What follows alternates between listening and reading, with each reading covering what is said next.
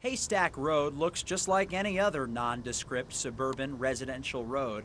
It's quiet, but on the night of June 24th, it wasn't. The homeowner took this video. He didn't want to be on camera, but says he used an app called Swimply to rent out his pool, which he's done many times in the past. Little kids' birthday parties, three-year-old, five-year-old, nine-year-old, and uh, the other ones have been uh, like a baby shower or uh, like a sweet 16, and uh, and then we had the big disaster. He says this time he was completely fooled when the people booking the party told him it wouldn't be crowded or loud. Turns out it was advertised on social media, and the clients sold tickets and booze. More than 120 people showed up. And if I would have known it was going to be like that, I would have never ever hosted anything like that.